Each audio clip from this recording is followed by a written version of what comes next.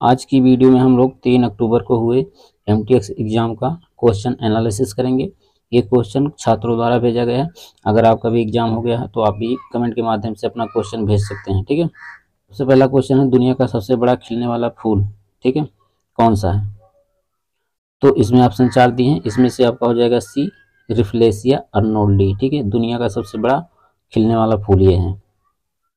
उसके बाद दूसरा है, ये साइंस का है। जो जीव प्रकाश का उपयोग कर भोजन तैयार करते हैं, उन्हें डाट डाट करके दिया रूप में जाना जाता है, यानी क्या कहा जाता है, ठीक है?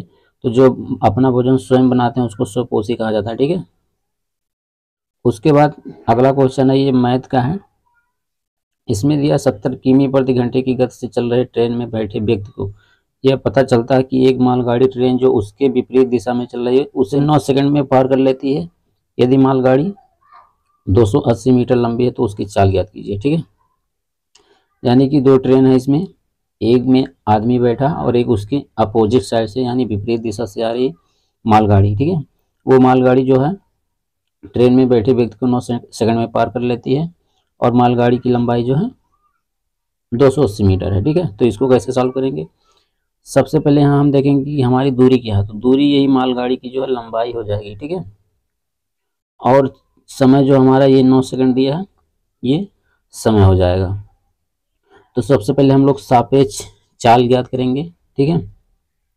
सापेक्ष चाल मतलब होता है कि दोनों ट्रेनों का उसमें जुड़ा होगा, ठीक है? चाल।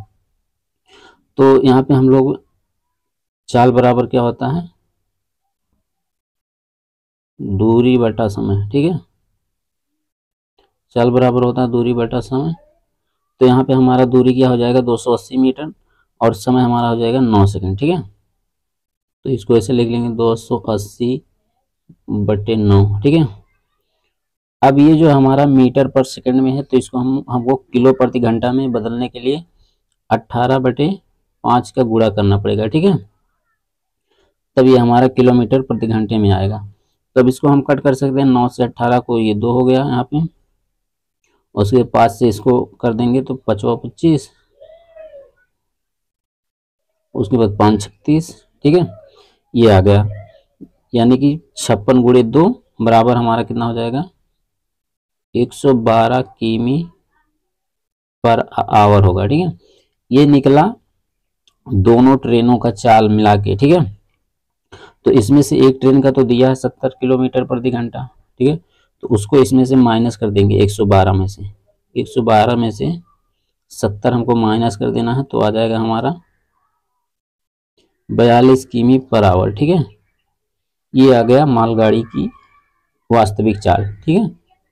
उसके बाद हमारे सामने अगला क्वेश्चन ये रीजनिंग का है। इसमें देखिए श्रृंखला एक दिया है। इसमें से एक जो है संख्या गलत है, ठीक है? वो श्रृंखला से मैच नहीं कर रही, उसको हमको पता करना है, ठीक है? तो इसमें अगर हम श्रृंखला की बात करेंगे तो 16 हमारा है 16 में अगर हम प्लस छः करेंगे तो 22 हो जा रहा है, ठीक है? 22 में प्लस आठ करेंगे तो 30 हो जा रहा है, ठीक है? उसी तरह से अगर 30 में हम लोग 10 प्लस करेंगे तो 40 आना चाहिए, वहाँ पे 45 दिया है। लेकिन अब भी हमको पता नहीं है कि 40 रहेगा कि 45 ठीक है? आगे भी देखते हैं। अगर 40 में हम लोग 12 ऐड करेंगे तो हो जाएगा बावन, ठीक है? बावन में अगर हम लोग चौदह ऐड करेंगे तो हो जाएगा छाछठ, ठीक है? तो इस हिसाब से जो हमारा श्रृंखला यही बन रहा है कि दो दो संख्या जो ऐड हो रही है, जैसे छः हुआ तो छः के बाद दो और करेंगे तो आठ हो जाएगा, ठीक है? आठ के बाद दो और करेंगे दस हो जाएगा। इस तरह से जो है, सम संख्याओं का जो है, इसमें जोड़ते जा रहे हैं और श्रृंखला बनती जा रही है, ठीक है? तो इसलिए पैंतालीस जो हमारा गलत आंसर होगा। उसके बाद अगला क्वेश्चन है, इसमें दिया है ये शब्द आपके सामने दिया है। बताया है, इससे ऑप्शन में जो दिए गए हैं कौन कौन से ऑप्शन के वर्ड जो है बनाए जा सकते हैं, ठीक है? तो इसको कुछ नहीं करना सबसे पहले आपको जो है सभी वर्ड देख लेना है और ऑप्शन में भी सभी वर्ड देख लेना है क्या सारे वर्ड उसमें हैं कि नहीं, ठीक है? तो इसमें डी जो है, इसमें एक वर्ड है एल ठीक है? एल इसमें नहीं दिया है, ठीक है? इसलिए हमारा ऑप्शन जो है डी होगा, ठीक है? ये वाला वर्ड जो है इससे नहीं बनाया जा सकता है। उसके बाद ये भी रीजनिंग का है इसमें दिया है ब्राइट को इस तरह से लिखा जाता है तो स्ट्रेन को कैसे लिखा जाएगा, ठीक है? तो इसको भी देख लेते हैं। B R I G H T ठीक है? नीचे लिख लेंगे हम लोग। F N L D L P अब इसमें हम लोग देखेंगे कि श्रृंखला क्या बन रही है, ठीक है? देखिए बी के बाद हम लोग अगर चार वर्ड आगे जाएँगे तो हमारा एफ़ आ जाएगा, ठीक है? चार वर्ड आगे जाएँगे तो एफ़ आ जाएगा, जैसे B C D E F ठीक है? चार वर्ड आगे जाएँगे तो एफ़ आ जाएगा। उसी तरह से इधर से एन से ऊपर की तरफ़ जाएँगे, चार वर्ड आगे तो आर आ जाएगा, ठीक है? उसके बाद आई से तीन वर्ड हम लोग इधर आएँगे तो हमारा आ जाएगा एल ठीक है? उसी तरह से डी से हम लोग ऊपर जाएँगे तीन वर्ड तो जी आ जाएगा, ठीक है? एक बार नीचे आना है, एक बार ऊपर जाना है, ठीक है? उसके बाद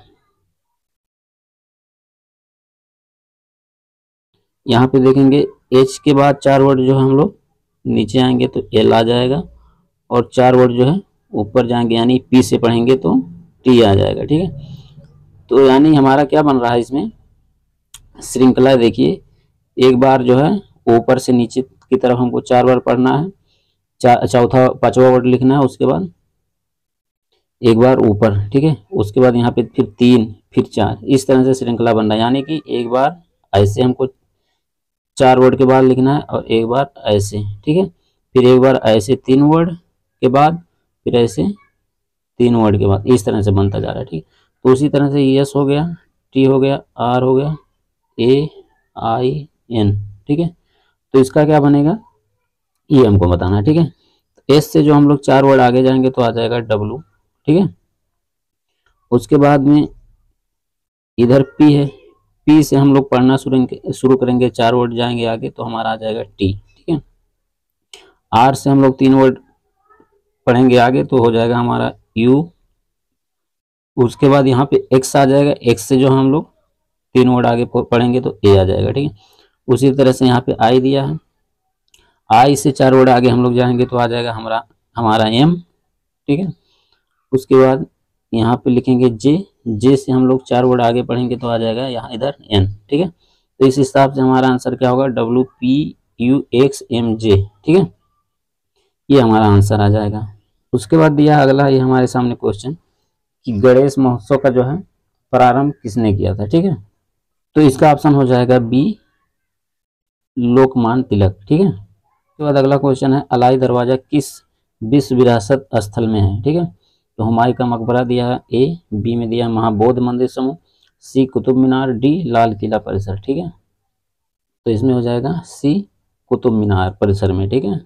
उसके बाद अगला दिया है, कौन सी कोशिकाएँ पौधे के विभिन्न अंगों को जन्म देती हैं और पौधे को बढ़ने में मदद करती हैं, ठीक है? तो इसका ऑप्शन हो जाएगा आपका सी मिरिस्टोमैटिक, ठीक है? और ये हमारा लास्ट क्वेश्चन है। इसमें दिया है, खजुराहो का स्मारक समूह किस राजवंश से संबंधित है? ठीक है?